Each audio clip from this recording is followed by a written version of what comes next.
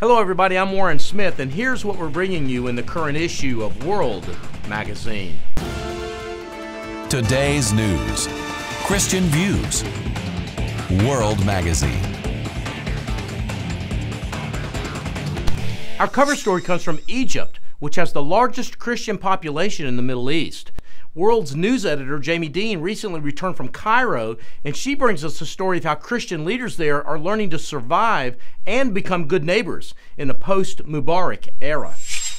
Our Washington Bureau Chief, Edward Lee Pitts, goes to Maine, which has, in recent years, been one of the most liberal states in the nation. Lee tells us, though, that a hotly contested U.S. Senate race there could change the political landscape in Maine and be an encouragement to conservatives facing uphill battles elsewhere. On the arts and culture front, Arsenio Orteza takes a look at three female singer songwriters Norah Jones, Sinead O'Connor, and Shannon Stevens, all of whom have new albums that reflect new directions in their careers. And our editor-in-chief, Marvin Olasky, has a Q&A with Richard Platt, whose book, One Devil to Another, is being compared, and I might say favorably compared, to C.S. Lewis's The Screwtape Letters. Marvin also brings us the latest installment of his memoir, Unmerited Mercy. In this installment, he discusses the ups and downs of a movement that he helped to create, compassionate conservatism.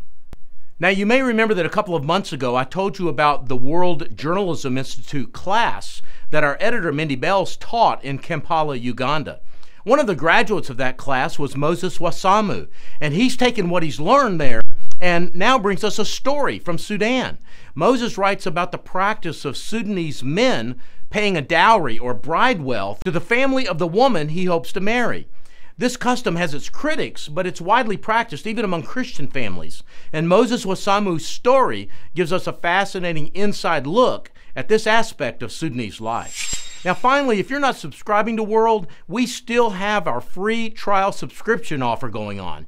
Almost 1,000 of you took advantage of this offer since the first of the year. It's free and easy. Just go to getworldnow.com and use the promo code VIDEO. You can sign up and get the next six issues, three months of World, absolutely free. Well, thanks for spending a few minutes with me to hear about the current issue of World. And don't forget about our webpage, worldmag.com. Not only do we have the complete magazine there in electronic form, but our web editor, Mickey McLean, also works hard to bring you tons of additional content daily breaking news, regular weekly commentaries, as well as links to our weekly radio program, The World, and everything in it, which is now heard on about 200 radio stations around the country, including both the Salem and the Bott radio networks. Again, that web address is worldmag.com. Well, I hope you've enjoyed this video preview of the current issue of World, and I look forward to being with you again next time. World. Today's news, Christian views.